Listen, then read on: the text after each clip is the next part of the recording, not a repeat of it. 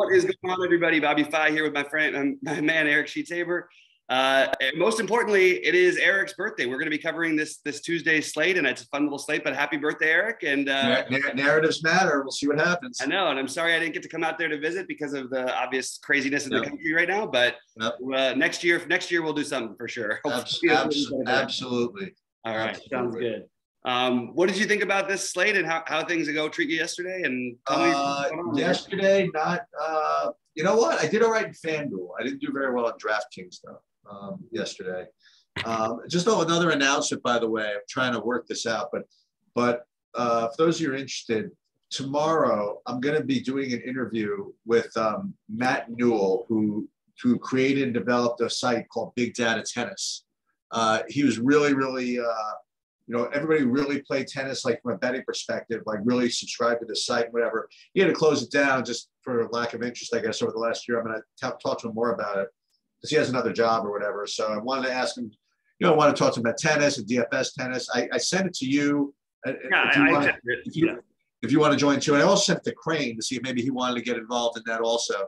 It's just an early time slot for you. That's the only thing. I'll look um, it up. Yeah. Oh, okay. So yeah, it's at 10 15 a.m. and I'll record it and I'll ask some questions of him. And who knows, maybe I could, could cajole him to get back and doing some tennis content or something like that. Because he has a real job. Yeah. and he, you know, and, and we'll, we'll we'll see if he's still if I can get him. Uh, that's my goal is to get him juiced up again into uh into, into getting involved in it again. No, sounds good, man. That'll be that'll be good. I'm glad we're uh Yeah. so to- to- Go ahead. So today's today's slate, I I, I I'm I'm not um and it's like so stupid to say because it always works out this way. It doesn't work, never works out this way.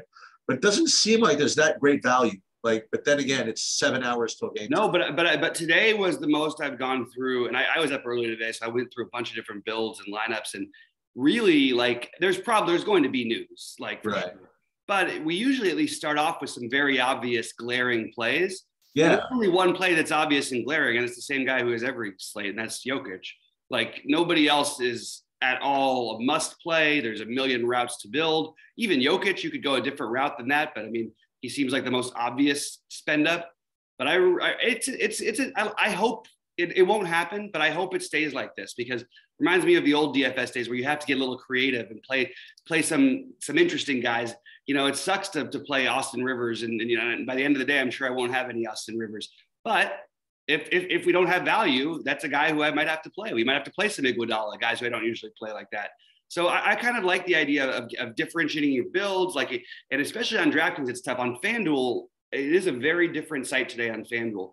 There are some some glaring prices for some of the the spend ups actually that I found really interesting. So that, that's just what we have to sort of navigate over there. Um, but I'll have all my builds and all my predictions and everything ready in the next, you know, after the by the time this shit, you probably watch the show. And uh, yeah, we're gonna we're gonna try and do the best we can with it. An update on a couple of things. First of all, um, uh, I've been I spent the last day or so. I've been grinding these these New York sportsbook bonuses um, to Oh, try yeah. to get as big as bonus as possible, and then basically get my bonus and try to break even betting. You know what I mean? That that's the that's the plan. Um, and uh, so yeah, so yesterday I started off pretty pretty pretty pretty nice. I went uh, we went four and two, um, and again, all I got to do is basically break even and even I can even do a little worse than break even. But if I break even, I, I, I recoup those bonuses like and then some, you know. So so uh, that's what I, that's that's kind of my goal. Um, and with regard to the slate, it's interesting because you have you have a situation where the, the value isn't that great, and yet you have Jokic projected like 15 points higher than anybody else, right? So it, it's it's the question of well, I don't care if the value is not great, you just have to find a way to play it, or value is not great, so you just have to give up the 15 points from Jokic. You know, it's, it's, it's an interesting question. Right. And we, and we talk about this is what used to be the game. You know, you could you could avoid the guy who's the highest scoring player by a significant amount if you get your other middle guys right. And that's maybe the route that you know the early slate will want us to look at. But we're gonna have to talk through each game. Why don't we Okay. share your screen and go through it because it's it's gonna be a lot of trying to figure things out. Um, and, and there's going to be some guys who we're used to at these prices wanting to play, but who have really been deading lately. They start in the first game, um, and that's that's in this OKC side of this Washington thing. I'm curious how how you like these guys because they're not going to project incredible. They do look like like I'm talking about specifically Giddey and Shai, but I I'm sort of concerned about like like Shai's going to have some, plenty of 50 fantasy point games left in the season, but I, I, it does make me nervous that I mean, you look at his assist rate versus Giddey's, and it it does feel like Giddey is sort of taken on the role of of like the main, you know, I don't know, the main guy to use in the offense. But what's weird is Giddey somehow managed to have a low usage rate while getting a million assists every game. I don't really know how that's possible, but I, I don't know. It's it's just a, it's it's because they're both there. I think that yeah, we can always just pick one, but if you look at what Ja's been, I'm sorry, what uh, Shai's been doing lately, uh, we haven't seen the last few games. We have not seen that 30 plus percent usage rate, which he had earlier in the year. We have not seen the assist, the assist be there for him for a while now um, with when Giddey's healthy. And of course, this could be an exception to all those things, and he could put up a big game. But like, so what? Where, where are you sort of on this game, and, and, and who are you looking at? Because it's it, it is a weird situation, and, and and you know me, if if all things being equal, I will always try to find a way, or even close to equal, I'll try to find a way to fade that first game. Yeah, I like um, I like Shai the best. Uh, and again, it goes back to, to how you how you want to build. You know, if, if you want to play Jokic, then playing you know then then you're not as uh, interested in playing a bunch of the eight Ks, right? But but if you if you want to fade Jokic, then guys like Shai are just kind of important to consider, right, at that price range. So I do actually like him. Um, you know, it's not and and I, you know this famous last words, but it feels like a really really low scoring slate. Mm-hmm. Um, so I don't mind somebody that's going to maybe get me 40 fantasy points, 7,800. Mm-hmm. You know, so so so I, I kind of like that. I'm not exactly ready to give the reins over to Giddey yet um, in that in that uh, environment, um, but it's certainly making a case for it. I'm not so, even really thinking Giddey. I'm just thinking like Shai hasn't. I mean, he hasn't put up 30 fantasy points anytime lately. Yeah. So it just feels thinner than maybe you know you'd want it to. But but I certainly, obviously, we could see a 50 out of them tonight, and it wouldn't surprise anybody the slightest bit. They're all going to have some ownership. All of these OKC guys. How do you have the other ones ranked with the Jeremiah? I really did. I really didn't. So so again, so it's all going to be relative to others, right? I, I, I don't really like any value that much. Um, but Dort Bazley, Earl. I, I, guess I would rate Earl the best, and then Bazley and Dort. But I just always have that that memory of Dort being able to flash the ceiling from time to time. Mm-hmm. You know, so in GPPs, I think I'd rather play Dort than those than those others. But um, they all they all look just just as you would say, just fine. Right. That's exactly how I feel. I if I had to rank them, I would go probably Earl, Bazley uh, for the value side of it. Dort's a little bit more expensive, but I do like Dort better than either of those guys. But he's 5200. Obviously, it's a little bit of a different tier. And I am finding that, that you know if you want to spend up for some of the guys who I like, you're going to want some value, and and the early value has me at least for placeholders, if nothing else, with Bazley and Earl being in some of my lineups.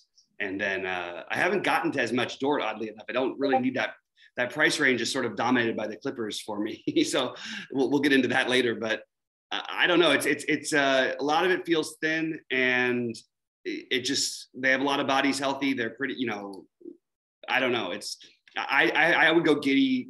I would go Shai then Giddey. still don't get me wrong, but it's, it just doesn't, It's just something about it feels a little fishy. Um, that's all I would say. Anything on the Washington side for you? Not really. I mean, they all you have Rui who's back.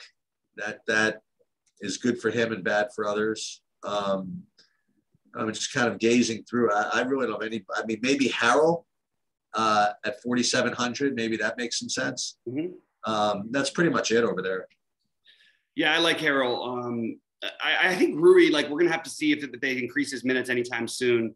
Um, but I mean, that's just something to keep an eye out for. His price, you know, we would love to play him at 4K if he's getting 28 minutes, obviously. But he's, you know, he played 14 in the first game against Orlando the other night. Um, I don't think they're going to try and force him back to more than 15 or 16 minutes. Try and take it really easy with him, which makes sense. But uh, but I but I, I am with you on Harrell. I, I do like Harrell. Uh, I don't mind speculating here. I, I like him on FanDuel also. I, part of what I don't like about him on DraftKings is I do like the center position today. So I would be a little bit careful with with how much Harrell I play on DraftKings. But on FanDuel, I don't mind doing it and uh, at 4,900 at power forward. So that, that's that's my my route with this one. How about uh, Phoenix Toronto? Because we have a pretty good total game here. And it feels to me like yet another good Chris Paul spot. Um, I think Jae Crowder is in a price range that in a game we expect to be competitive where he's viable at 3,900 because we don't have the other value. Um, I did get away with the Bridges the other night. I played him at 4,900 when nice. he was 2% owned and on the small slate. What did he get? 30? 34 something, 33. Okay. Nice. You know, um, I, but the, other guy I played in addition to him, I, I, rotated between them was Duncan Robinson, who was less than half a percent owned, who put up 39. So that was that was uh, either one would have been fine, um, at least to win that that tournament that I won. But uh, yeah, I think Chris Paul is my favorite play here. I never mind if anybody wants to take a shot on Booker. Uh, these Toronto games get a little little wonky, especially with the no fans. I mean, I just want to point out that Fred VanVleet, when there aren't fans in the arena for whatever reason, just seems to be absolutely like go nuts every single time. And I'm kind of curious, you know, this Phoenix team famously played great with their uh, in the bubble and, and playing in a game with without fans in the arena. Uh, I don't know. I'm just sort of, I, I, I don't want to overdo the angle, but there's not a ton of games here, not a ton to love. Uh, anyways, I currently have Chris Paul um, as my most interest of anybody, but then Jae Crowder, followed by Crowder. Uh, I don't mind Ayton and, and Cam Payne either, but uh, I just sort of feel blah about most of them outside of Chris Paul and potentially uh, Crowder, and, and I guess I could get to Booker, but I don't think it's my favorite play. How about you? Yeah, so I have a couple of, of thoughts on this game. First of all, from the Toronto side, uh, I do like uh, both VanVleet and uh, Siakam. Siakam did very, very nicely the other day for me, at like like 1% ownership. You know, like 50, 55 fantasy points, something like that. He had a really, really nice game. Um, and I might he's been, been great lately, by the way. Yeah. I might consider going back to that. I don't like too much else in Toronto. I think the Phoenix thing is really interesting for couple of reasons. For, it. first of all, um, Ayton uh, came back off of the two week layoff, and you know he played played 32 minutes against you know a tough matchup in general. You know, he didn't do that great, but if he's gonna be back to a full starting role and all that stuff, um, he's probably pretty cheap. But but what, what I'm interested in is, and again, we're gonna know this beforehand. I mean, when, when you go to Toronto nowadays, you're facing all kinds of COVID risk as far as as as being able to even get back into the country. You know, like if you're now gonna have to test to get out of there, mm-hmm. and if if if they test and like don't get out of there, I don't, they might have a game tomorrow. You know, I I think it's very possible that that that one of these guys, Paul or Booker or whatever, might not even make the trip. You know what I mean? I, I don't know. Um, I, I didn't really do that much deep deep diving into this whole concept, but I, I, think it's I think it's worth looking at their schedule and seeing if they play tomorrow or something like that. they don't. They don't. But in, in either case, I you know again we'll know this well beforehand. You know what I mean? Mm-hmm. But if, if they're if they're not going to be in the freaking country, right? I would hope that you don't find out 7:15. Uh, Chris Paul did that's not make the trip. That's you know? what was weird about the Utah thing is that so many of the players traveled with the team, like Gay and all those guys, that you just sort of assume that they're in especially when they're announced that they're available to play. Right. and then and then he and Royce O'Neale end up sitting out, and, and they really went. They had to go just at the bottom of their bench, just empty it. Right. Um, so it, it is an interesting thing. I've been thinking about it a lot. I don't think they're going to leave anybody behind as of right now. It's not my first instinct, no, but I, but I, um, they're playing for the for the you know they're, they're right there for the one seed, and and by the way, they very likely could get it tonight. And because one of the best games of the whole season, may, maybe one of the most, I don't know, certainly one of the games I'm most interested in in this whole season is is going to be taking place a little bit later. So, um, so go ahead. Yeah. So, so, so what I was getting back to with the Phoenix is I think that actually, believe it or not, I think that, I think if, if everything stays the way it is now, which it won't, I, I actually think Jae Crowder is going to be the chalk uh, today uh, uh, as far as value goes. I, you know, with Cam Johnson out, um, he's going to project really well. And for people that are going to want to get in Jokic, they're just going to, as I said, they're going to be forced to play somebody. And I think that he's going to be the chalk value that people play. And I, I really, I now here's the again, here's the question. I think that in and of itself, it's probably kind of shitty chalk. But if it's going to get you Jokic, for example, you know, maybe you could play shitty chalk, you know, because those points are just so important, you know, to, to get to those 60 points if you can get there. So, so uh, if you could find a, something better for me than, than, than Jae, than Jae Crowder 3,900, I think, I think that's going to help me um, because I do think that he's going to be pretty popular. but the, the, the good guys on Phoenix, I, I, like them. I like them both. I, I, like Paul, I like Ayton, and I like Booker. So I like all three of those guys. Yeah, I don't think I'm realistically going to end up playing all three of those guys. So I mean, I, like I like them. Well, not together. I just mean that you know what I mean. Like I like them all. Yeah, they're definitely a little bit lower priorities for me, but I definitely have some interest. I do like Gary Trent on the Toronto side. Um, his price is cheap on both sides. Scottie Barnes is really cheap on FanDuel, and I think that's worth playing him over there. I think Anunoby is, is in play um, on the Toronto side. I, I, just and, and the VanVleet Siakam thing, they both have been going nuts, and this is not a good matchup though. Um, you have one of the better defensive, more efficient defensive teams in the NBA. I don't think that I'm going to play Fred VanVleet at 9,600 against Chris Paul. It doesn't seem like a smart thing to do. But he's been going completely nuts um, against much, much weaker competition. And Siakam against a team that's pretty good defensively. Uh, I can, I'm okay with it, but I don't love it. I, I kind of agree with what you were saying about Crowder. Um, but I think that the guys, you know, both OKC guys also will take up some of that ownership um, at the same price, basically. So, all right, Detroit, Chicago. What do you got? Yeah, it's it's another one of these guys. I mean, I mean, another another, another one of these players in this price range. You know, uh, Vooch and DeRozan. I mean, they, both these guys are, you know, are good plays in this kind of like not the highest of spend ups. Um, they're not elite plays, but they're good enough. And in your non Jokic builds, I think that you could try to play guys like this. Um, I don't know whether, and, and again, if you're going to play Vooch, yeah, I mean, do it and, and, don't play Jokic at all. You know what I mean? Like, then, then you could try to get away with that. Um, I, I, actually, as we go to other, I think I like other centers as maybe even better pivots, but I, but I think that that that Vooch is very viable. So for me, it's Vooch and um, and and DeRozan from Chicago, and I really don't have much in Cleveland. I mean, on Detroit. Uh, so on on FanDuel, LaVine is seventy five hundred. Oh really? and uh, DeRozan's eighty two, and he's eighty seven on DraftKings. They're both both very very good prices for him. Yep. The guy who I'm sort of like I could see having a monster game on Chicago that I don't think people are really talking about or going to be that that high on is Lonzo. Um, it feels like a good kind of a good matchup for him. I'm a little concerned with Coby White's minutes that Lonzo is getting a little less usage. I mean, there's already a lot of guys to compete for time with, and you want Lonzo to at least get, you know, have that chance at the the the, the assists and all that because he's he's going to rebound, he's going to get some steals and blocks in this kind of a matchup. Um, obviously, some blowout risk, but I, I do like. Um, if I had to rank the, the spend ups for the Bulls, I would go DeRozan, Lonzo on DraftKings, DeRozan, Lonzo, Vooch, um, LaVine. And then I do think at the moment, Derrick Jones Jr. is going to be a filler piece at 3,300.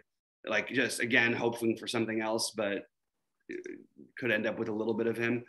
Um, the one who no one will play, and I'm not going to probably either, but just interesting because his minutes have fluctuated. He's had some big games in there. Is Ayo Dosunmu. Um, I, I, don't think I'm going to get there, but it's a 150 type of play that I think you can you can take a shot on. But again, that's if we don't get other value, which I'm, I'm assuming we will.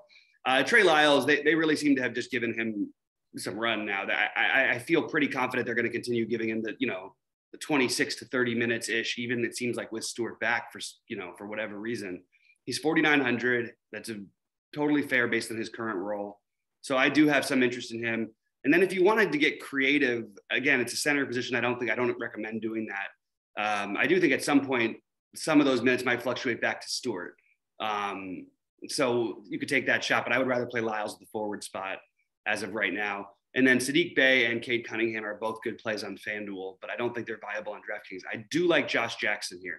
Um, Josh Jackson has actually been pretty good. This has been a you know limited role. He did play 24 minutes in the last game, but um, he's basically been in that 20 to 30. What, what is he? He had, the, he had the one game with 12 against Memphis and the 17 and a half against Orlando, but 22, 27, and 37 the other three games more recently. Obviously, blowouts are always in play. He's going to get run no matter what, which means he's always going to give himself a chance. He's an off the board value that even on a you know a bigger slate with some other value, I would probably take some chances on. So I'm going to probably make it at least you know one out of three of my big lineups on DraftKings will probably have Josh Jackson in it because he's a great pivot off of that exact price tier you were just talking about. If Crowder and Bazley and Earl end up at 30% each, you could play Josh Jackson, who could literally outscore all those guys um, and does regularly for at one percent ownership versus those guys at thirty.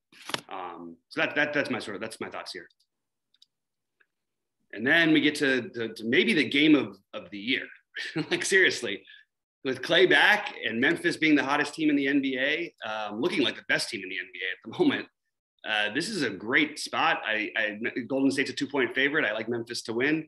Um, what are you, what are you doing here? Because there's this this is a game where I, I definitely want to get some exposure, but it's hard to figure out how to do. I mean, you've got Toscano Anderson as the the spend down at 3K, like showing up right now, but like a center spot. And by the end of the day, is that going to be good value? Iguodala, another one of those guys.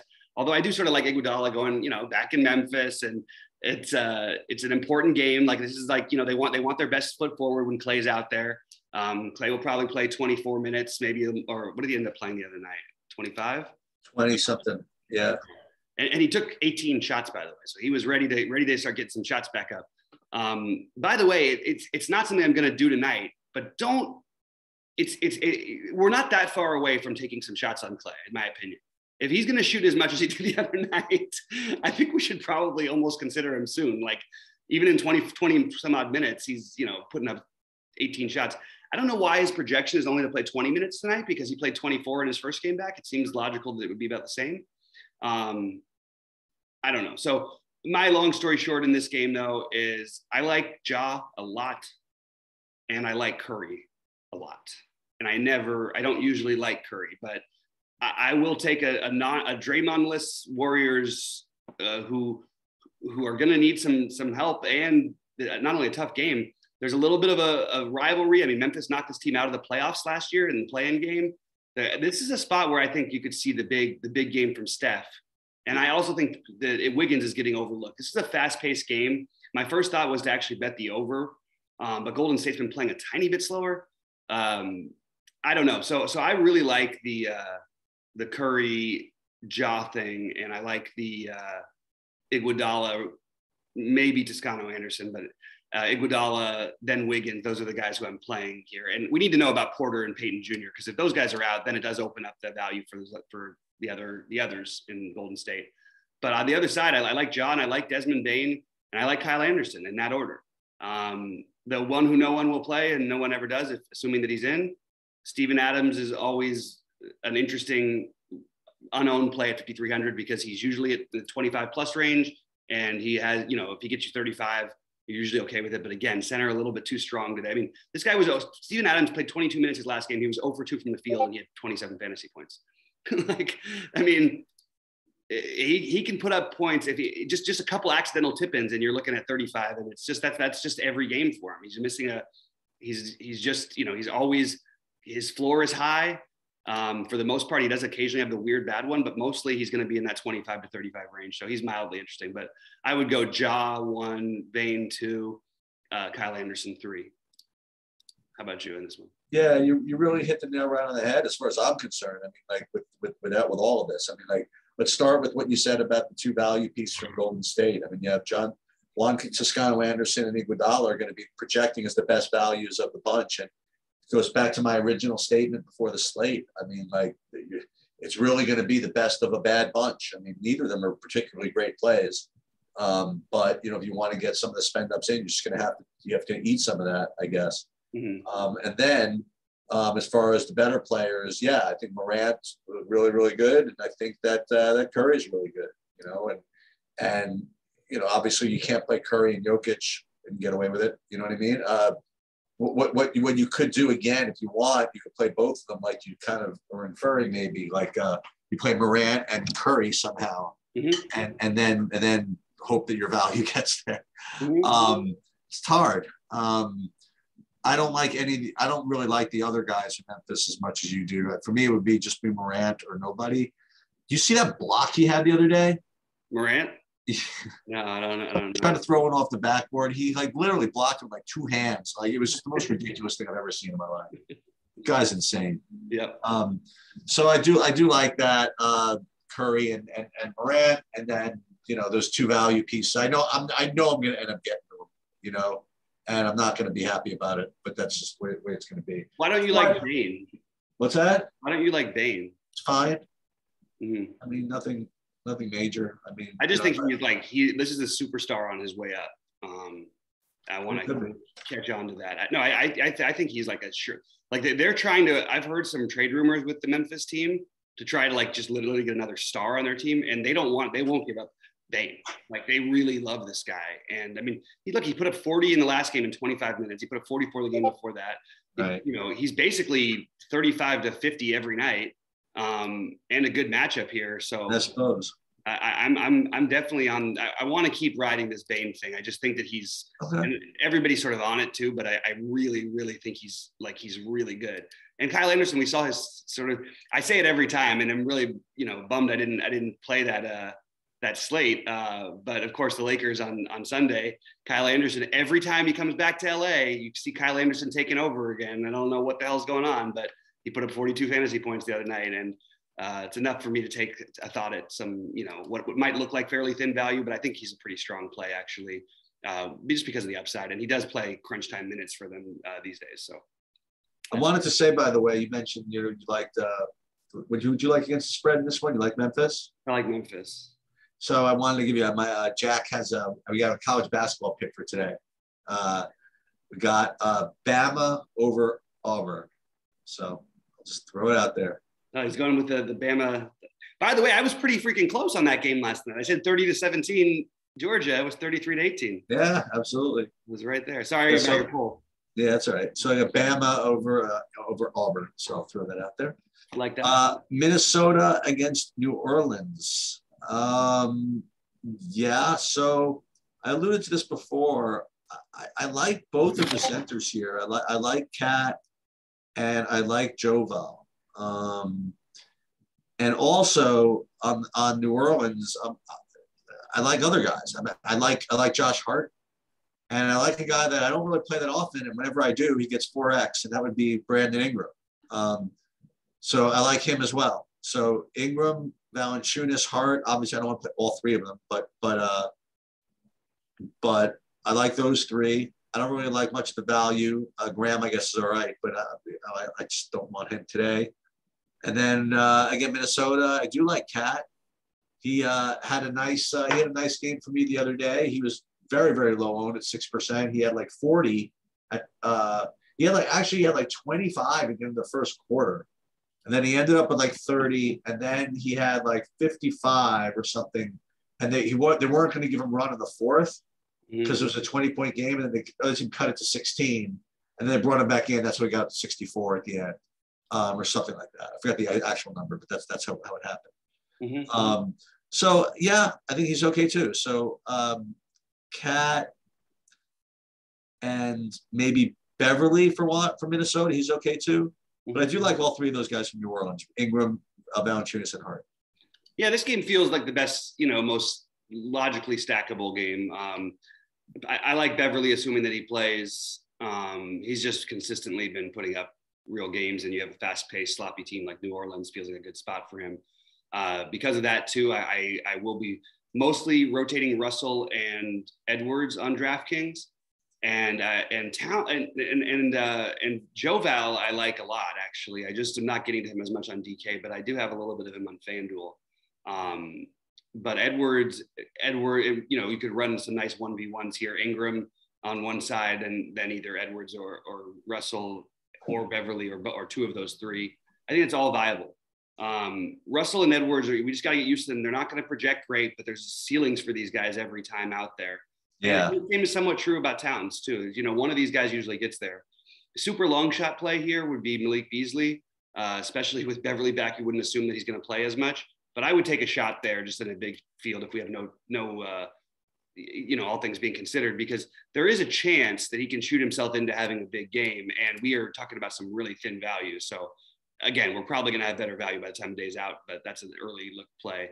I, I would rank Ingram on, on the New Orleans side. I would rank it Ingram, um, probably Hart, Joval, Graham. On DraftKings, on FanDuel, I would rank it Ingram, Joval, I guess Hart, Graham. Um, and and I don't think there's anything wrong with playing Herb Jones either. So I, I do think this is this is a good game to get at least like you get you know maybe two of the studs back and forth with a with a filler piece like a Beverley, um, with a filler piece like a Herbert Jones or something. Um, I think those are all viable. And then your long, large field play for really large field tournaments would be Nickeil Alexander Walker on in New Orleans. So this is going to be a really, really weird spot this last game. And here's what's here's the argument against Jokic. Okay. Um, can I jump in there with this? Go for it. Okay, so we know what Jokic, Markieff Morris, Marcus Morris's twin brother, who they share a bank account and all the things, and there's you know they live together. They're they they, they used to play played together their most of their career.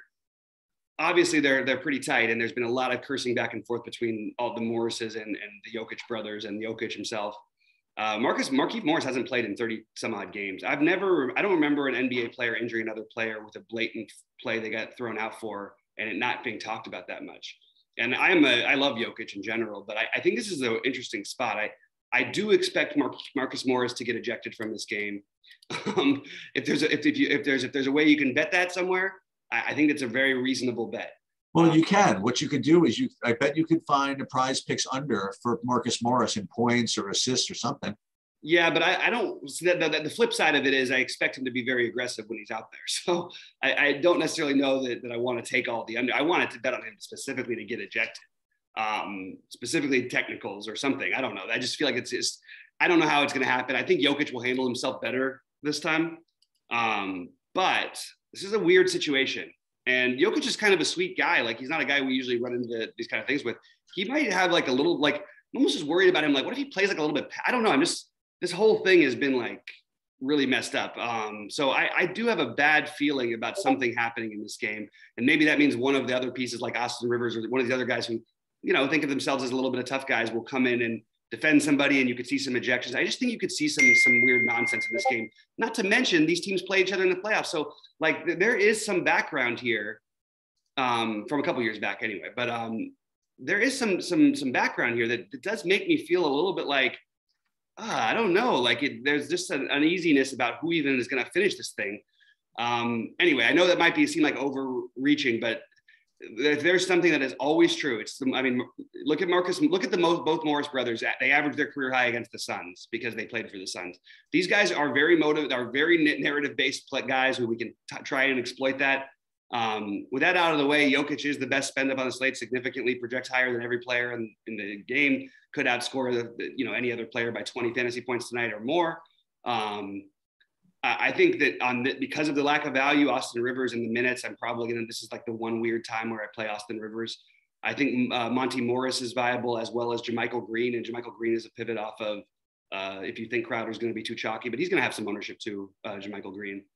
Um, none of it's all that exciting. I do think with no Will Barton that that we've seen this so many times with Aaron Gordon, but I'll I'll play Aaron Gordon when he's zero percent owned at forty nine hundred. Um, I don't like it, but that's that's sort of what I'm looking at here. So I would go Jokic one, uh, Rivers two, uh, JaMychal three, Morris four, and then or sorry, Green four, Morris five. That's my Denver rankings, and for the Clippers, uh, I am probably going to be lower on Marcus Morris, but I, I will play a little bit of him because I think that the narrative could go either way. And I think it's really interesting because Jackson's been losing minutes to Bledsoe and, and even to Boston in some cases. I, I think that no one's going to play him at 5,800 where we would have like been all over this play early, like a, a few weeks ago. I, I, think speculating on both those guys, Bledsoe more for me on FanDuel, uh, Jackson for me on DK. Uh, but the main ones between Batum, Zubac, Coffey, Mann, Ibaka. I would go Mann one, Batum two, Zubac three, Coffey four. That's where I'm at. All right. So I think that JaMychal Green is a good pivot off of the similarly priced Jae Crowder. Um, uh, not that he's a great player or anything like that, but just again, just a pot, just a part of the pile of five and a half X guys that may or may not get there. Um, uh, the next value guy I have on Denver would be Monte Morris, who you mentioned. And, you know, you, you don't need me to tell you that if you could play Jokic, that's terrific. Um, on the Clippers, I didn't know all that about the um, about this whole Morris business. Um, the, the, two guys that I have rated the best over there are actually going to be uh, Nicholas Batum and Zubac um, for the Clippers. And again, these are more five again five and a half X guys who are just, you know, whatever. Um, so these are probably going to be flipped in the flipped into the mix. And they're they're not as cheap as these others, but you know, you, you need kind of a team of a team of a team of experts to uh, to to defend uh, Jokic, I suppose. Mm-hmm. Um, um, and I don't know how much Serge is going to play. I only have Serge projected for 18 minutes today. Um, so Batum will play 30 minutes probably. Zubac maybe you know somewhere obviously between 25 and 30. Um, I guess they're okay, and that's pretty much it. I don't want to play Reggie Jackson. I don't want to. I really don't want to play anybody else. Mm-hmm. Uh, that's fair enough. Um, I do think a couple of the guys are going to get there, but again, you can. There's plenty of other guys to choose from, and it's it is hard with the Clippers getting getting a little bit more healthy. Although of course, no Paul George. Yep. Um, all right. Well, uh, with that said, so I'm just going to real quickly go through my some of my priorities. Jokic, obviously, making you know a lot of priority as a priority. Uh, I do think one of Crowder, Bazley, uh, Robinson Earl, and uh, who we just mentioned, uh, the 3700, uh, um, Michael Green as as you know those are like some interesting and, and Josh Jackson of course, um, uh, Trey Lyles, um, one of Shai Shai Dort or Giddey, I think is fine, but probably not what I'm going to do. I do have Ja as a priority, uh, a little bit less less so for Curry, but I am going to run some back and forths. Uh, one of Bane or Anderson will be in a good portion of my lineups. One of Russell or Edwards uh, or Beverley, for that matter. Um, one of uh, Valanciunas, Ingram, and uh, that's a lot more on FanDuel. And then Mann, Coffey or Batum is the way I'm sort of dividing it up, and Zubac or Morris is the way I'm dividing up the Clippers. Yeah, Jokic is the is the top play, and then it's weird. You know, I I actually have Ingram as my next best. I like it on the whole slate, and, and I, I, you know, I just can't help myself because I have I have Valanciunas rated 4th mm-hmm. I, I, think I'm going to do it. I think I'll just play them both and, and throw out Jokic and see what happens. And then um, and then I got and then I got Morant and Curry too. You know, so maybe I'll play some lineups with Curry and Morant. I'll play some lineups with um, you know, Ingram and Valanciunas with with maybe a you know, I can't play Ingram, Valanciunas, and KAT, but I guess I could. But maybe play like like Beverley and, and, and Edwards or something like that for the Minnesota side of that New Orleans game. Um, I don't know. Uh, I, I don't want to have too much exposure. Again, don't be don't don't again. There's going to be stuff happens, but if they, if it doesn't, don't don't play like 100 percent like Andre Iguodala. You know what I mean? Like if, if like your if your optimizer just gets you there. Um, I, I just really wouldn't do it. I mean, I, I think the difference between, and I, I don't, I use Andre Iguodala as an example, and I don't know where he's going to end up projecting, but what, what ends up happening is you have these $3,700 guys that all project within like one point of each other.